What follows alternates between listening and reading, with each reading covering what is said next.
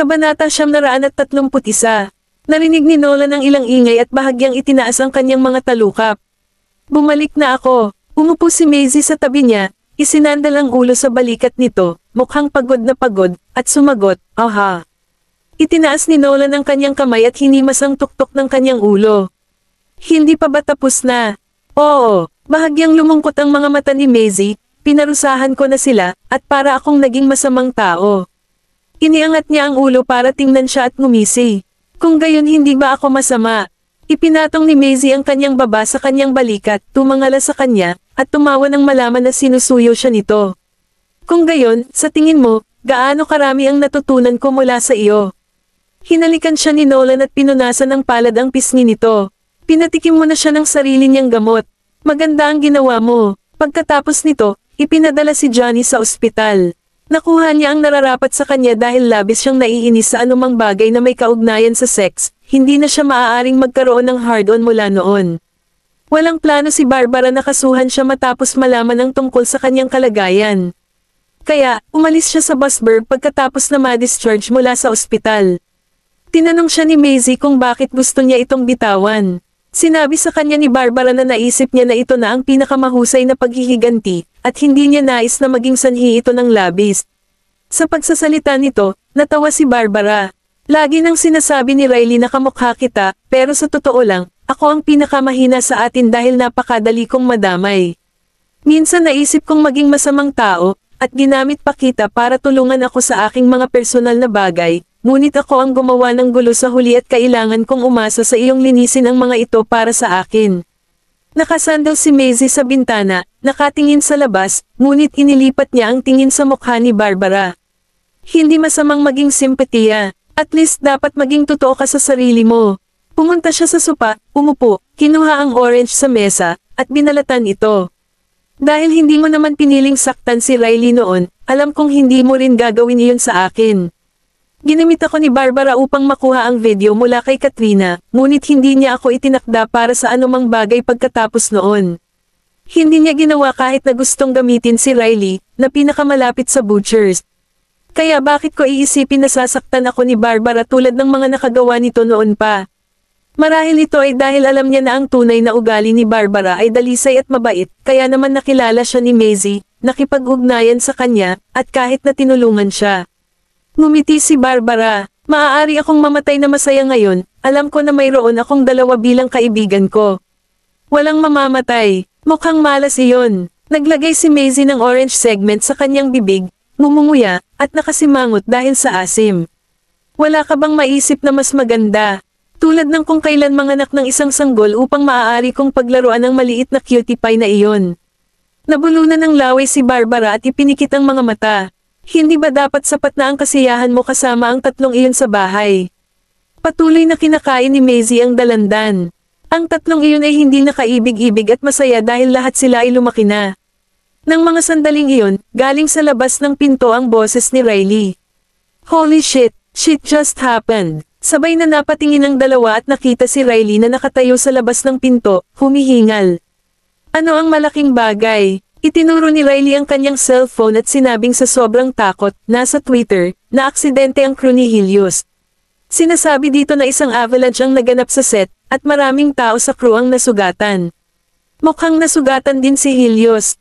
Nagulat si Barbara. Tumayo si Maisie. Kailan ito nangyari? Nagmamadaling sagot ni Riley, kakalabas lang ng balita. Ang aking tiyahin at tiyuhin ay papunta na ngayon sa Coralia. Hashtag ang crew ng A Dream from the Past ay nakatagpo ng avalanche. Hashtag. Hashtag si Helios Boucher ay nasugatan ng iligtas ang crew. Hashtag. Nakapasok ang balitang ito sa Google Trends hindi katagalan pagkatapos itong lumabas, at ipinagdarasal siya ng mga tagahanga ni Helios. Humingi ng paumanhin sa Twitter ang namamahala sa crew. Dahil masyadong bigla ang nangyari ang avalanche habang kinukunan ng snow scene, nabigo silang tumugon sa oras, na naging sanhi ng pagkasugat ng maraming tao sa crew. In-update din niya ang kalagayan ni Helios. Nasugatan siya dahil bumalik siya para iligtas ang isa sa mga aktres na natulala at hindi makareact on the spot. Kabanata 732 Dahil sa paliwanag ng namamahala sa production crew, maraming netizens ang pumuri kay Helios sa pagiging matapang at lalaki. Ang iba ay tumatakbo para sa kanilang buhay sa panganib habang siya ay nag-iisip tungkol sa kaligtasan ng iba. Nakuha nito ang puso ng maraming netizens at naging mga tagahanga niya. Natagpuan at ikinalat ng mga netizens ang impormasyon at pagkakakilanlan ng nasadyap na aktres. Siya ay isang bagong artista na gumanap ng isa sa mga pan-suportang papel sa The Dream from the Past. Matapos malaman kung sino siya, pumunta ang ilang haters sa kanyang Twitter profile at inilarawan siya bilang isang taong duwag na nagdulot ng pinsala kay Helios ang ilan ay inihambing pa siya sa isang salot. Pero ang ilan sa mga netizens na hindi makayanan ang gayong mga aksyon na pinagtatalunan sa mga haters na iyon. Gayunpaman, ang bagong dating ay biglang nakatanggap ng isang alo ng atensyon dahil mismo sa mga pangungusap na ito. Nagsimula pa siyang makakuha ng mga tagasunod sa Twitter dahil sa insidenteng ito. Sa Coralia, ang niebe sa mga lansangan ay naalis na, ngunit ang mga patong ng niebe ay makikita pa rin na nakolekta sa mga sanga at halaman. Ang mga dumaraan na naglalakad ay nakabalot sa kanilang sarili ng mga Amerikana, at ang kanilang lakad ay mabagal dahil sa madulas na daan. Sumugod sila Christina at Yael sa ospital malapit sa rehiyon kung saan naroon ang filmang crew matapos matanggap ang balita. Helios, dumating si Christina sa labas ng ward. Ang direktor at ilang tauhan ay nasa ward, kasama si Helios. Si Helios ay may plaster cast sa kanyang kaliwang binti, at may mga pasa sa kanyang noo. Si Christina ay mukha talagang nababalisa habang nagmamadaling pumunta sa tabi ng kama. Paano ka nasaktan ng husto? Pakiramdam ni Helios ay walang magawa. Inay, ayos lang ako. Tinatawag mo itong mabuti. Nagtaas ng boses si Christina at pinandilatan ang direktor. Ganito ba inaalagaan ng tauhan mo ang anak ko? Bakit huli na nang ipaalam mo sa akin matapos nang nangyari sa anak ko? Naunawaan ni Mr. Hitchcock na siya ay nabalisa dahil gusto niyang protektahan ang kanyang anak at matiig ang nagpaliwanag. Mrs. Boucher, I'm very sorry na nangyari ang ganyan sa crew. Ako ang may kasalanan dahil hindi ko napansin ang biglaang insidente na naganap noon pa man sa Snowy Mountain. May gustong sabihin si Christina, ngunit pinutol ni Yael ang usapan. Okay, hindi rin natin masisisi ang crew dito. Pagkatapos ng lahat, walang sino man ang maaaring mahulaan ang gayong hindi inaasahang sitwasyon. Tsaka hindi lang anak natin ang nasugatan. Marami ring mga tripulante ang nasugatan.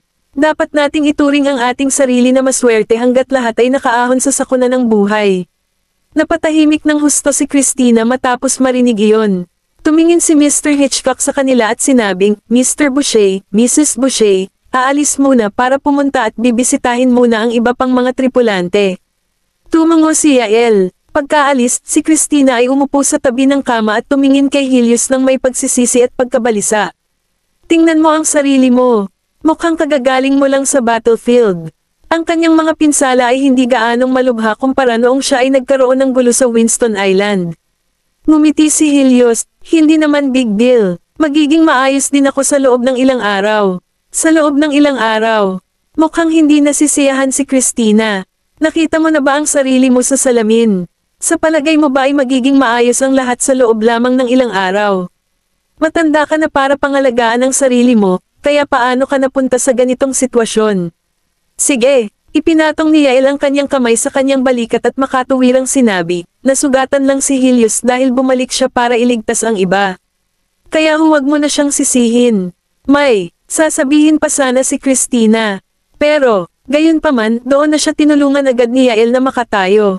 Wala nang pero, kailangan ni Helios ng magandang pahinga ngayon.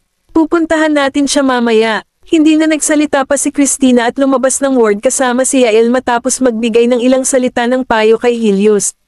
Sa wakas ay natahimik ang ward. Napabuntong hininga si Helios, some andal sa ulo ng kama, at tumingin sa labas ng bintana sa malamig na kalangitan. It's been so many days, at hindi na niya ako kinokontak mula noon. Oo naman, impulsive ako noong isang gabi.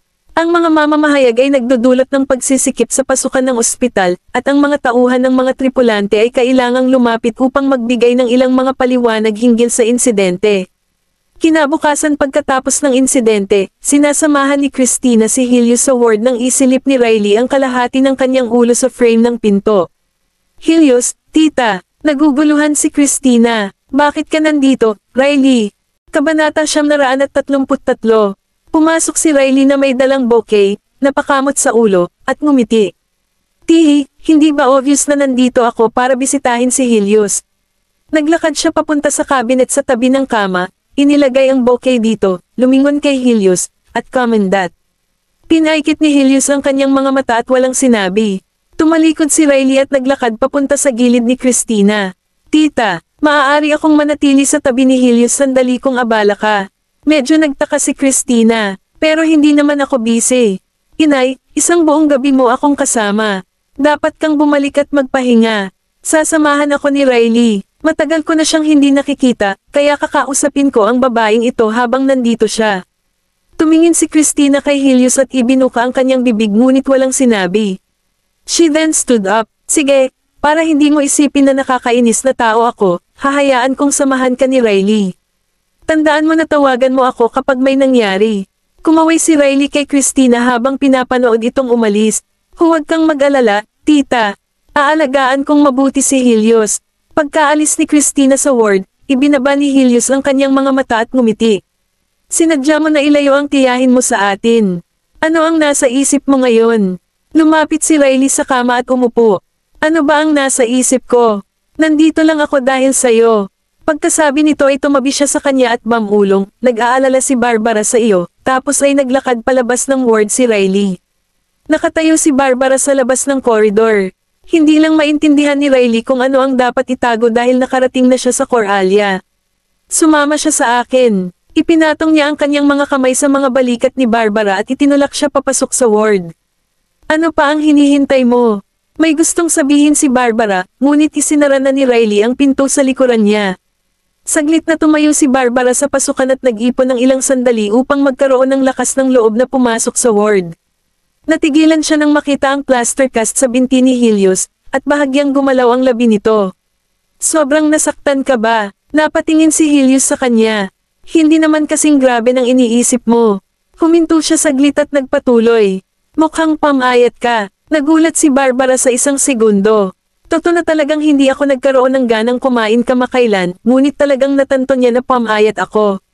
Nag-iwas siya ng tingin at casual na sinabi, nag-diet ako kamakailan. Ngumiti siya, mataba ka ba? Bulong ni Barbara, hindi rin ako payat, tumingin si Helios sa kanya. Mukhang maganda ka kung ano ka.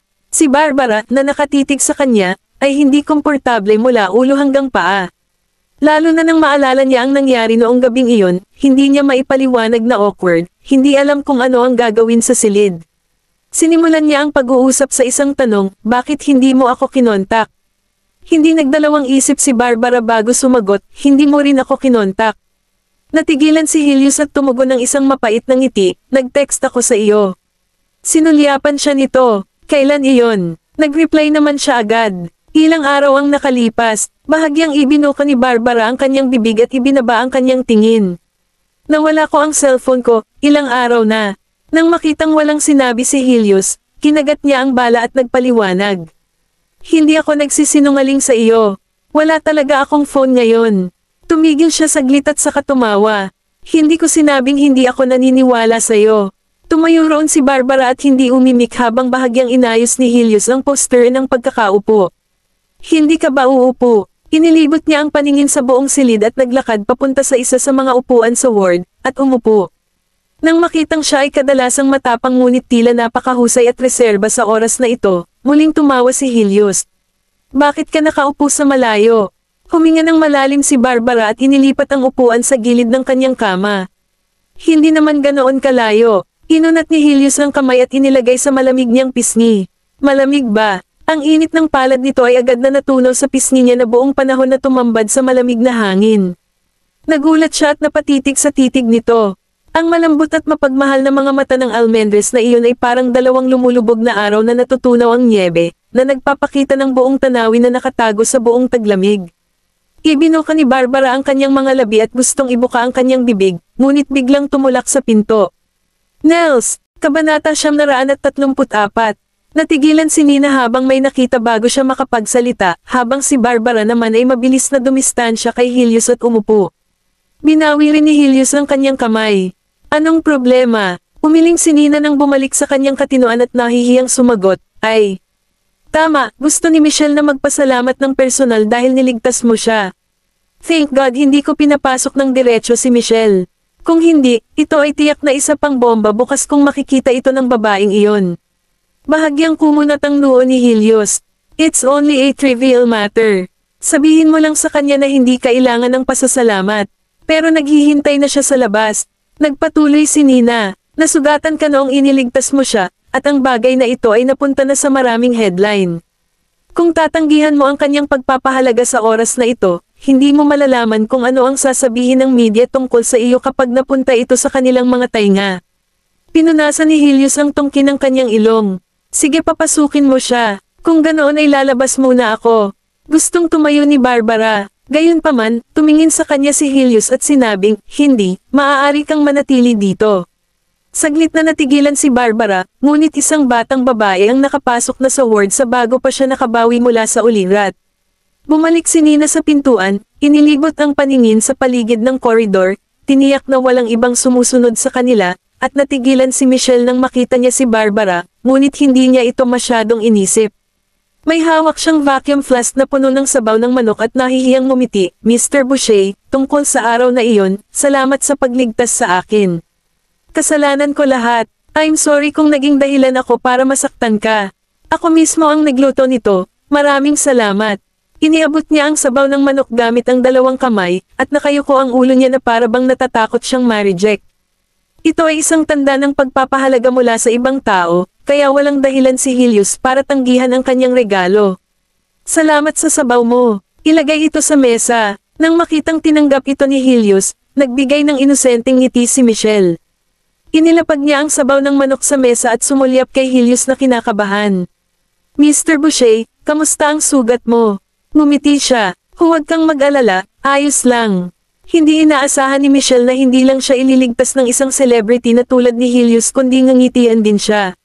Si Helios ay isang malambing at mapagpatawad na ginoo, gaya ng sabi-sabi. Kung tutusin, isa lang siyang hindi kilalang artista, at lahat ng mga celebrity na nakatrabaho niya ay hindi man lang nag-abalang kilalanin siya. Natutuwa akong malaman na ligtas ka. Nag-aalala ako na masira ko ang reputasyon mo. Kumilos si Michelle at maingat na nagsalita. Walang magawa si Helios, huwag kang mag-overthink. Ililigtas ko kung sino man iyon kapag may nangyaring ganoong insidente. Bahagyang nang inig ang puso ni Michelle nang marinig ang nakakaaliw na salita ni Helios habang nararamdaman ang init na nagmumula sa kanya.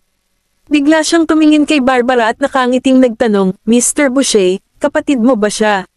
Mukha siyang nakamamangha. Ang ngiti na orihinal na makikita sa mukha ni Barbara matapos marinig ang sinabi ni Michelle ay nag-froze, at maging si Nina ay natulala. Nabulunan at paulit-ulit na umubo si Helios, at sa sandaling naging awkward ang kapaligiran sa ward, muling ngumiti si Barbara at matigas na sumagot. Oo, kapatid niya ako. Habang sinasabi iyon ni Barbara, Sinulyapan niya si Helios at ngumiti. Naihatid na ang sabaw ng manok, nagpasalamat na siya, at ikaw, kapatid ko ay kailangan pang magpahinga. Bagamat nag-aatubili si Michelle na umalis ng ganoon kabilas, nagsalita na ang kapatid ni Helios, kaya hindi nararapat na magtagal pa. Siya, nang paalisan na siya ni Nina, hindi napigilan ni Helios ang humagalpak ng tawa. Pinandilatan siya ni Barbara ng walang ekspresyon. Nakakatawa ba yon, kapatid? Damn it, sinabi niya talaga na kapatid ako ni Helios. Pero hindi pa ako kasing edad ni Helios. Mukhang matanda na ba ako? Hindi napigilan ni Helios ang pagtawa tumawa siya ng malakas na nagsimulang sumakit ang kanyang tiyan. Tumayo si Barbara at aalis na sana, ngunit hinayla siya ni Helios, at doon niya pinigilan ang kanyang emosyon. Galit ka ba? Galit na inalis ni Barbara ang kanyang mga kamay mula sa pagkakahawak niya at umupo ng nakakross arm. Pwede bang hindi ako magalit? Talagang sinabi niya na matanda na ako. Kabanata siyam naraan at tatlumput lima. Pinisil ni Helios ang pisngi niya, hindi ka matanda, mature ka na. Ano man ang kanyang hitsura o pag-uugali, si Barbara ay hindi mukhang kahit ano malapit sa isang inosenteng batang babae. Siya ay palaging may mature at eleganteng alindog, at ang kanyang mga tampok sa mukha ay mukhang napaka-regal, pati na rin napakakilala. Ang mga kilalang tao na ganito ang hitsura sa industriya ng entertainment ay kadalasang pumupunta sa soberanya o sexy na setting at estilo ng karakter. Tulad ng para kay Michelle, siya ay dalawampung taong gulang lamang, siya ay bata pa, at nagpunta siya para sa patas, bata, at masiglang estilo. Gayunpaman, ang mga kilalang tao na may ganitong mga setting ng karakter ay sagana sa industriya ng entertainment. Gayunpaman, si Barbara ay tila labis na nag-aalala tungkol dito at inilayo ang kanyang mukha. Ang mature ay itinuturing din na luma sa aking diksyonaryo. Niyakap siya ni Helios, natigilan si Barbara at nagtatakang tumingin sa kanya. Sa kabilang banda, ngumiti si Helios ng paos. Pero gusto ko, at iyon lang ang mahalaga. Nagulat na naman si Barbara. Natouch siya na parang may furry work sa puso niya. Inangat niya ang ulo niya at hinalikan ang labi nito. Ibinaba ni Helios ang kanyang tingin, hinawakan ng palad ang likod ng kanyang leeg, at nilakasan ang halik. Habang nangyayari ang lahat ng ito, binalot niya siya sa isang whirlpool ng init, dahilan upang makalimutan niya ang lahat tungkol sa malamig na taglamig. Nagkaroon ng snowfall sa labas, ang mga snowflake ay damapo sa mga salamin na bintana, at ang hamog na nagyelo ay lumabo ang mga pane. Sa Pasko, napakasigla ng pribadong paaralang elementarya. Ang lahat ng mga klase ay napuno ng napakainit at maaliwalas na mga dekorasyon, at maging ang campus ay pinalamutian ng mga ilaw upang ipagdiwang ang Pasko. Sa araw na iyon, ang paaralan ay bukas sa publiko, at ang mga magulang ng mga mag-aaral ay maaari ring bisitahin ang kanilang mga anak at mga guro at manood ng mga pagtatanghal sa campus. Tatay, nanay, maganda ba ako ngayon? Si Daisy ay nakasuot ng pulang palda na may puting peles na mga gilid at isang pares ng maikling bota. Nakasuot din siya ng Christmas hat at isang pigtail sa bawat gilid ng kanyang ulo. Siya ay mukhang napaka-adorable at maganda. Lumapit siya sa kanyang mga magulang at lumingon sa paligid. Itinaas ni Maisie ang kamay para ayusin ang baluktot na sombrero niya at ngumiti. Ang ganda mo, napakaganda, napatingin si Nolan kay Maisie. Lalong nagiging kamukha kanya habang lumalaki siya. Mahinang sanggal ni Maisie. Ako ang nanganak sa kanya, so, syempre, hawig niya ako. Mapapahamak ako kung papayagan ko silang tatlo na maging kamukha mo. Hindi naman isyu sa dalawang lalaki na makamukha ang kanilang ama. Ngunit kung ang aking anak na babae ay hindi rin maging katulad sa akin, bibigyan ko ng F ang aking mga gene. Nagpout si Daisy, sa tingin ko, mas mabuting maging kamukha ako ni tatay. Napalingon si Nolan at tumawa. Bahagyang pinitik ni Maisie ang kanyang maliit na ulo gamit ang kanyang buko. Hindi ka magiging maganda kung kamukha mo ang iyong ama. Tinuro siya ni Daisy. Hindi iyan totoo. Tingnan mo kung gaano kaganda ang hitsura ni Colton kapag siya ay magbibihis bilang isang batang babae sa isang palda. Sinabi pa nila na mas maganda si Colton kaysa sa akin. Napasulyap si Maisie sa direksyon na itinuro ni Daisy at nagulat siya. Si Colton, na napapaligiran ng isang grupo ng mga kaklase, ay nakasuot ng gintong peluka at isang damit na tuto na kahawig ng sa isang western na prinsesa. Hindi talaga makikilala ni Maisie na sarili niyang anak iyon kung hindi niya tiningnang mabuti. Tanong ni Maisie, bakit ganyan ang pananamit ni Colton? Humajejek si Daisy. Si Nolly ang kailangang gumanap bilang prinsesa, ngunit may utang si Colton kay Nolly, kaya pumayag siyang gampanan ang papel na ito para sa kanya. May utang ba siyang pabor sa kanya? Mukhang galit lang ang batang iyon kay Nolly sa mababaw na antas. Hinaplos ni Maisie ang kanyang baba. Si Colton ay mukha talagang kamangha-mangha kapag siya ay nagbibihis bilang isang babae. Paano kung, lumingon siya kay Nolan, nakipagpalitan lang ng tingin si Nolan sa kanya. Agad siyang tumikim na parang nakita niya ang mga iniisip nito sa isang sulyap, tumingin sa paligid, at lumapit sa kanya. Huwag kang katawa-tawa, I'm already in my 30s, And you want me to wear a dress? Ipinatong ni Maisie ang kanyang baba sa kanyang balikat, ipinasok ang kanyang mga kamay sa kanyang jacket, at mahinang sinabi, Hubby. Gusto kitang makitang nakadamit ngayong gabi, ipinatong ni Maisie ang kanyang kamay sa kanyang balikat, itinaas ang kanyang kilay, at tumawa. Pwede mong isuot sa harap ko. Itinawid ni Nolan ang katawan niya at casual na tumingin sa malayo. Kabanata 136 Nanatili ang tingin ni Daisy sa kapatid at hindi niya napansin ang nangyayari sa likuran niya. Hinawakan ni Nolan ang kamay niya. Maging mabuting babae. Ayoko kung hindi ka pumayag. Hinailan niya ang kamay niya at tumalikod. Kinapa ni Nolan ang gitna ng kanyang mga kilay at inilabas ang kanyang braso para hilahin siya pabalik. Pag-usapan natin ito mamaya. Napangiti si Maisie na nakasandal sa kanyang mga braso. Magsisimula na sana ang play. Tumayo si Colton sa entablado, ngunit hindi napansin ng mga magulang at estudyante mula sa ibang klase na lalaki ang prinsesa. Ang prinsipe ay ginampanan ng isa pang batang lalaki sa kanilang klase, habang ang isang batang babae ay naglaro ng masamang Dragon Rider. Ang mga ilaw ay nakatutok lahat sa entablado, at ang pagtatanghal ay lubhang kapana-panabik na ang lahat ng mga mata ay nasa kanila. Inagaw ng masamang Dragon Rider ang prinsesa, at nang hilahin sila ng mga wire pataas, dahan-dahan silang umangat sa hangin. Biglang namatay ang lahat ng ilaw, at nang ang lahat ay nagulat, isang batang babae ang tumili. Inilabas ng lahat ang kanilang mga telepono para sa flashlight. May napansin si Nolan at tumakbo papunta sa stage, si Maisie naman ay biglang tumayo, at nagbago ang ekspresyon niya. Colton, narinig sa sound system ang boses ng guro nang muling bumukas ang mga ilaw. Nasira ang circuit at naging sanhi ng pagbara ng wire machine, na iniwan ng dalawang bata na nakabitin ng tatlumpong talampakan sa hangin. Umiiyak ang dalaga sa takot at niyakap ng mahigpit si Colton. Nakabitin doon si Colton, hindi naglakas loob na kumilos at mukhang namumutla. Hiniling ni Nolan sa mga tao na magdala ng ilang banig at tumayo sa ilalim ng dalawang bata.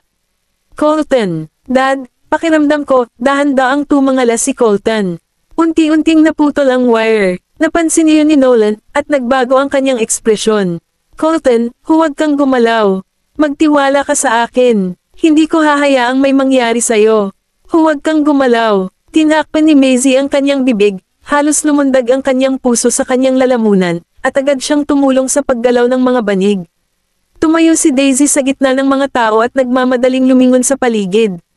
Nakita niyang may tumakbo mula sa itaas na palapag ng tumangala siya. Sumiksik siya ang mga tao at lumabas. Si Maisie, ang ilang mga magulang, at ilang mga guro ay nagdala ng higit pang mga banig, at may sumigaw, masisira na. Tumangala si Maisie, biglang naputol ang alambre, at nahulog ang dalawang bata. Ang mga magulang sa labas ng entablado ay tumayo lahat at naghiyawan sa gulat. Nahulog ang dalawang bata sa mga banig at sumugod sina Maisie at Nolan para tulungang makatayo si Colton. Colton, nagtakbuhan ang ibang mga estudyante at guro para tingnan kung ayos lang ang babae.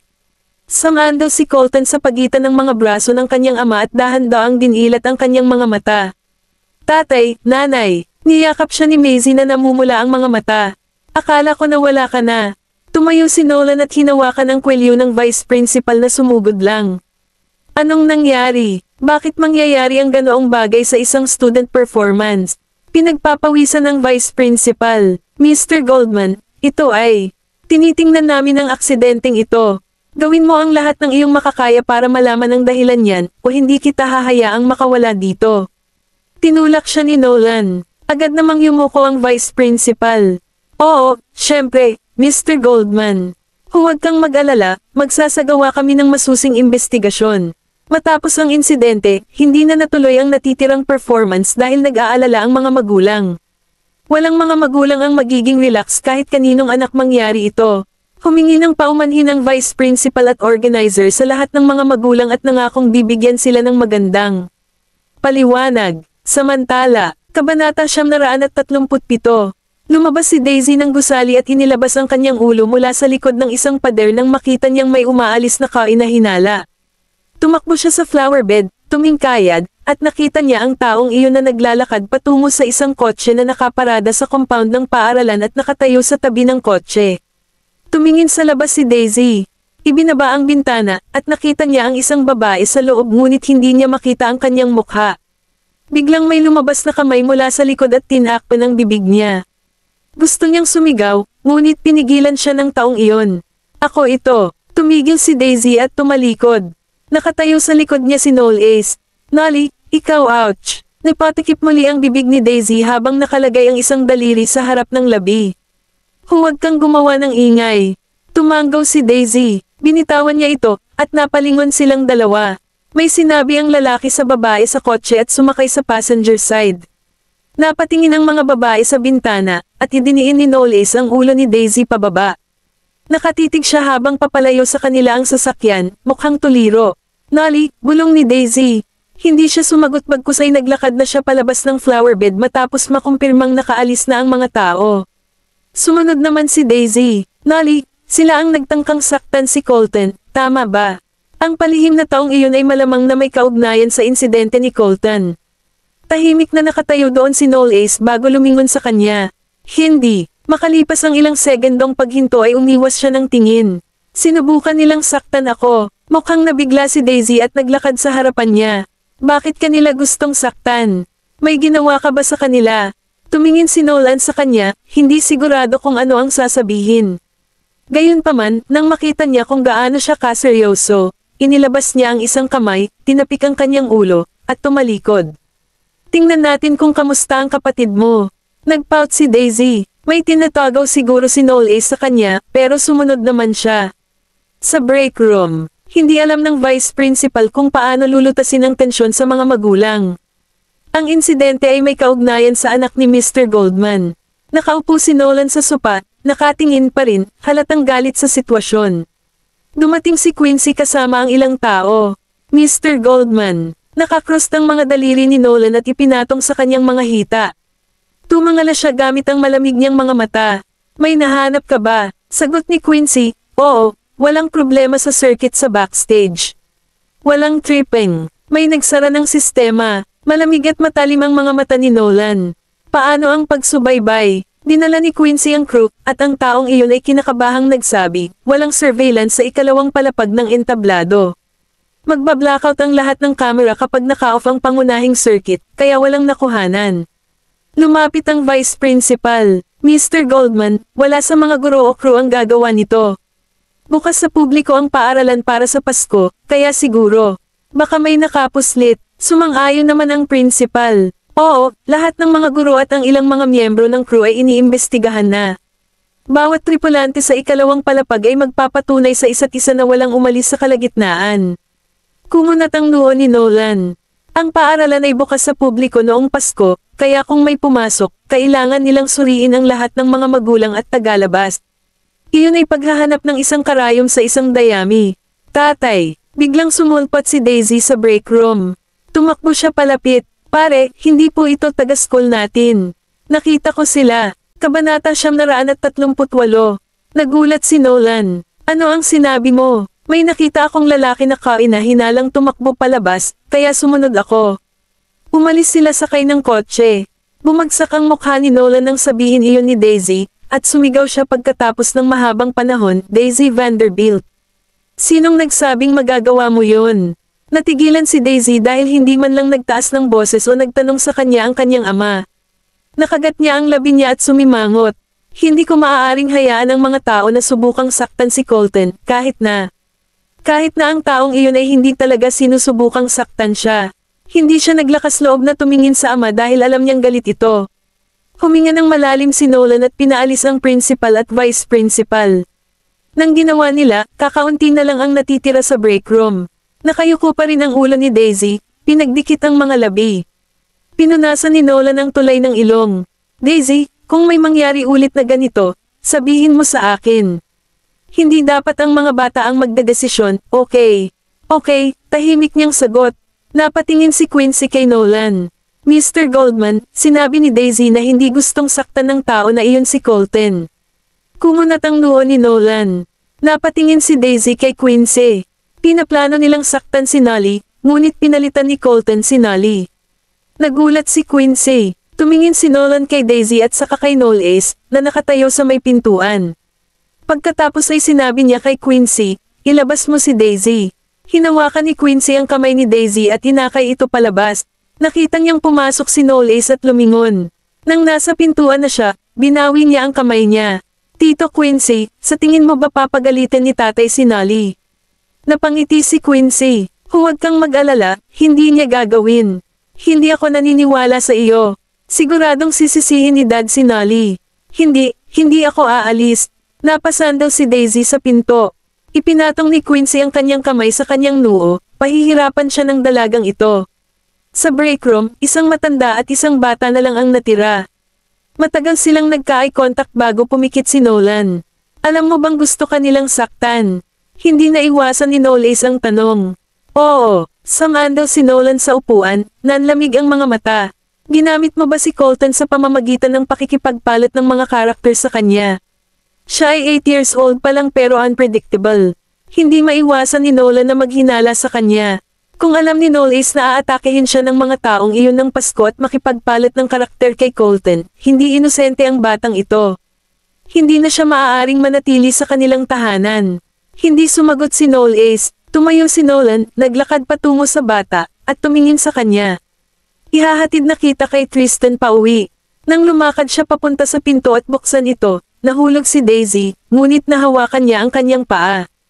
Tumangala siya sa madilim na mga mata ng kanyang ama at ngumiti. Tatay, mukhang inis si Nolan. Sino ang nagturo sa iyo na makinig sa mga tao? Tumingin sa ibaba si Daisy at hindi umimik. Naglakad pasulong si Quincy. Mr. Goldman, nag-aalala lang siya na baka may gawin ka kay Young Master Knowles, mas mainam ito bago siya magpaliwanag dahil mas mukhang upset si Nolan kung siya ang gagawa. Bukas na siya aalis, hindi ka na pinapayagang makipag-usap sa kanya. Kung hindi niya kinuha ang mga bagay sa kanyang sariling mga kamay, ang kanyang anak na babae ay maaaring tumakas kasama ang batang ito. Umalis na siya pagkasabi nun. Natigilan si Daisy. Anong ibig sabihin ni Dad sa pag-alis? Itinataboy ba niya si Nolly palabas? Lumingon siya para tingnan si Noel Ace, na tila nag-iisa at malungkot sa ilalim ng liwanag. Kabanata siyam naraan at tatlumput siyam. Lumingon si Noel Ace sa gilid, tumingin sa mga mata ni Daisy, at saka malungkot ng umiti. Napakagatlabi si Daisy, tumalikod, at tumakbo palabas. Ipinaalam ni Nolan kay Tristan na dadalhin si Noel pagkatapos ng insidente kay Colton. Alam ni Tristan ang tungkol doon at nanatiling tahimik bago nagpadala ng sundo kay Noel.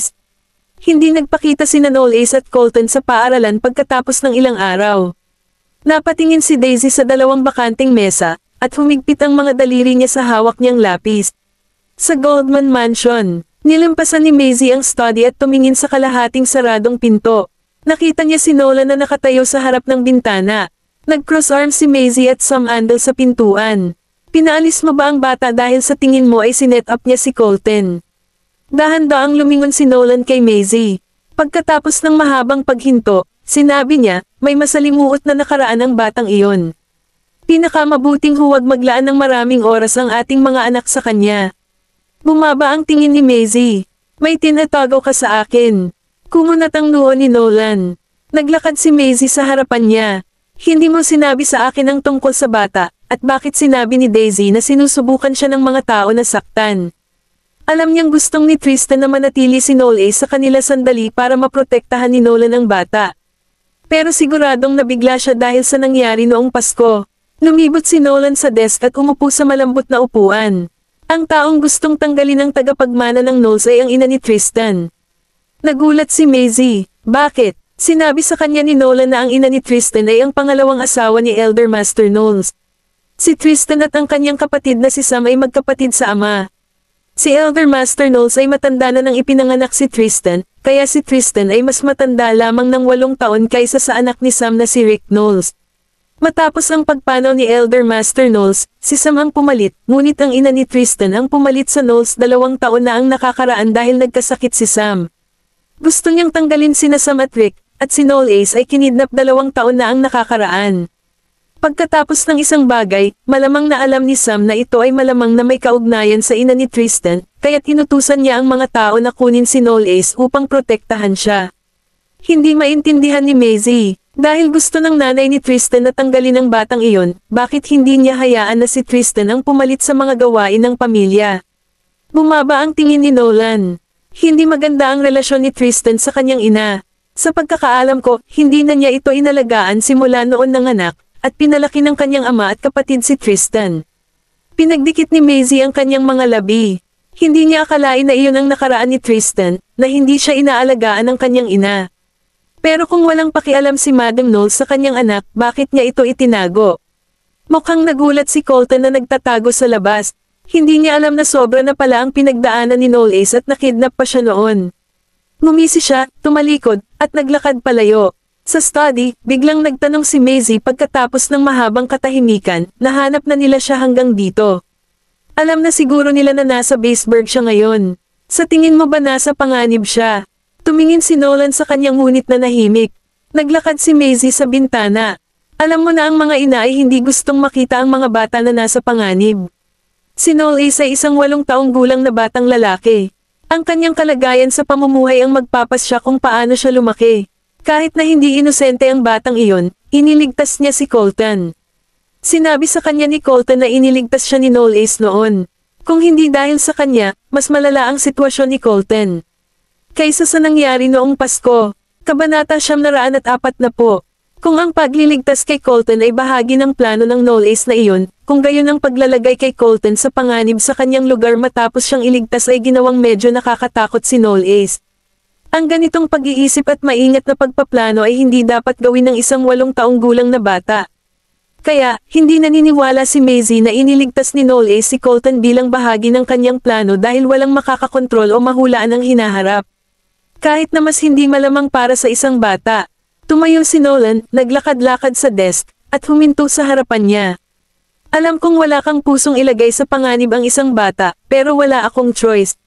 Mayroon tayong tatlong anak, at hindi ko sila maaaring ilagay sa paraan ng pinsala. Tumingin-tingin si Maisie sa paligid habang malalim na nag-isip. Bumalik si Nolan sa Black Gold, at hindi nagtagal pagkarating niya sa kanyang opisina, kumatok si Quincy, pumasok, at ibinigay sa kanya ang mga detalye ng investigasyon. Mr. Goldman, ito ang kaina-hinalang sasakyan na nakita namin malapit sa paaralan noong Pasko. Kinuha ni Nolan ang file at sumimangot. Iyon ay isang plate number mula sa ibang estado. Tumanggaw si Nolan. Oo, all kayan galing kay Octavia, at may pinadala ako para alamin kung sino ang may-ari. Dapat kong makuha ang mga resulta sa isang araw. Sa Coralia, sa ospital. Lumabas si Barbara ng elevator na may dalang pagkain ngunit nabangga si Michelle at ang kanyang assistant. Nakangiting binati siya ni Michelle. Nandito ka ba para bisitahin si Helios? Si Barbara ay ayaw talagang makipag-ugnayan sa kanya, ngunit ngumiti siya at tumungo bilang paggalang. Oo, hinawakan ni Michelle ang kanyang braso bilang isang friendly na galaw, nandito din ako para makita siya. Sabay na tayo, nagtaas ng kilay si Barbara. Hindi siya mahilig magpanggap na malapit sa mga estranghero. Binawi niya ang braso niya at ngumiti, let's go. Naglakad siya sa harap, ngumisi si Michelle at sumunod naman. Nang makita ni Helios si Michelle na sumulpat sa likod ni Barbara, kumunat ang noo niya. Nakangiting naglakad si Michelle papunta sa kanya. Helios, pumunta ako para makita ka kasama si Barbara. Inilapag ni Barbara ang pagkain sa mesa na may stoic na ekspresyon. Ginamit siya ng babaeng iyon. Napansin iyon ni Helio at ngumiti. Naisip ni Michelle na masaya siya na binisita siya nito at kinuha ang pagkain mula sa kanyang katulong. Helios, nagdala ako ng tanghalian para sa iyo. Hindi na kailangan yan, kinuha ni Helios ang pagkain na dala ni Barbara. Nagulat si Michelle at medyo awkward na parang iiyak na. Helios, ayaw mo ba? Pasensya na, gusto ko lang magpasalamat sa iyo. Mukha namang kalmado si Helios. Nakikita ko ang sincerity mo. Ang pag-save sa iyo ay isang likas na tugon lamang. Wala akong inaasahan na kapalit. Sana maintindihan mo. Nag-alala ang assistant ni Michelle na nasaktan niya si Helios at nagpaliwanag, Mr. Boucher, hindi iyon ang ibig sabihin ni Shelly. Nagigilty lang siya dahil nasaktan ka habang inililigtas siya. Hindi ito seryoso, huwag kang mag-alala tungkol dito. Ayokong isipin ng media na may dahilan ang pagligtas ko sa iyo. Dapat maintindihan mo. Naririnig ng katulong ni Michelle ang babala sa pahayag ni Helios. Nagiba ang ekspresyon niya, at agad niyang hinayla ang manggas ni Michelle. Sige, hayaan na nating magpahinga si Mr. Boucher. Tara na. Napakagatlabi si Michelle at lumingon sa likod ng paalis na siya kasama ang kanyang katulong. Ang magiliw ng ngiti sa mukha ni Helios tungo kay Babara ay nagpagulat sa kanya.